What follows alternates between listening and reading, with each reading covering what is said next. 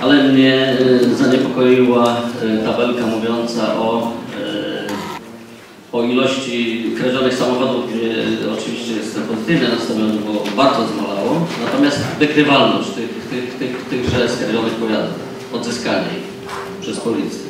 Bym prosił tutaj o odpowiedź o wnioski, ponieważ ta wykrywalność zawsze w naszym mieście, znaczy od dłuższego czasu, znaczy od dłuższego czasu w naszym mieście nie dawało to bezpieczeństwa posiadaczom pojazdów, bo wykrywalność jakby odbiegała nawet od y, średniej y, wojewódzkiej, ale bardzo dużo od średniej krajowej. I y, nowy komendant jak obejmował, mówił, że główną, główną swoją pracę rozpocznie od tego, żeby ten wskaźnik po- poprawić.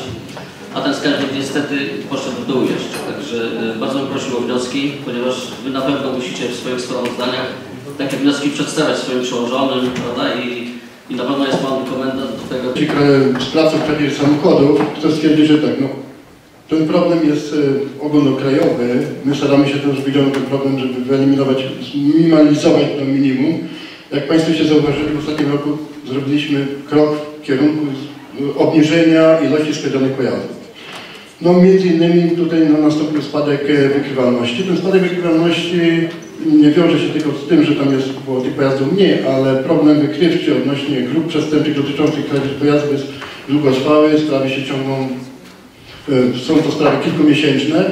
I chcę Państwu na przykład zaznaczyć, że na chwilę obecną za pierwszy kwartał mamy wykrywalność 50%, czyli bo 8 kra- skradzionych pojazdów, 4 są e, wykryte, sp- wykryci sprawcy. I dlatego mówię, no, nie jest to jednoznaczne, że na przykład są lata, które są lepsza wykrywalność, są lata, które jest gorsza wykrywalność, w zależności jest od e, grup przestępczych, które działają.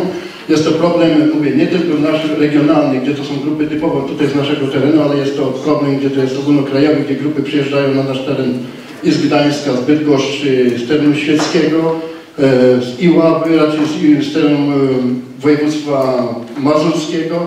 Także mówię, staramy się współpracować poprzez Komendę Województwo i bezpośrednio z jednostkami, których te grupy się wywodzą, którzy są figuranci, którzy działają na naszym terenie. Prowadzimy zarówno pracę tutaj, jak Państwo widzicie, prewencyjną, zapobiegawczą, żeby tych kradzieży było mniej, jak również pracę wykrywczą. Głównie tu jest praca operacyjna, ponieważ te sprawy są bardzo trudne. Nie ma śladów na miejscu zdarzenia, jeżeli nie monitoring w danym miejscu nie ma monitoringu, nie ma też możliwości ustalenia sprawcy, nie ma świadków. E, Działamy tylko, można powiedzieć, operacyjnie. Natomiast sprawcy posługując się komórkami, są to komórki jednorazowe, na jedną akcję nie ma tych komórek, nie możemy ustalić, mówię, jedynie bardzo uciążliwa, długotrwała praca operacyjna dotycząca grup.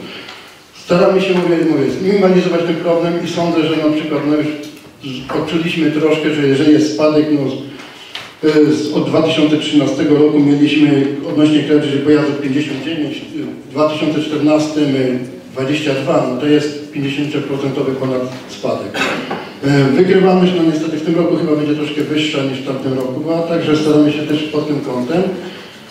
No i myślę, że tutaj nadal będziemy pracowali. No tutaj widzimy, że są dobre, dobre inicjatywy odnośnie zwiększenia monitoringu i oby ten monitoring był coraz sprawniejszy technicznie, ponieważ bo jeżeli kamery są obrotowe, mieliśmy już takie zdarzenia, że samochód stoi za półtora minuty, nie ma pojazdu i nie ma żadnego nagrania, chociaż jest kamera ustawiona.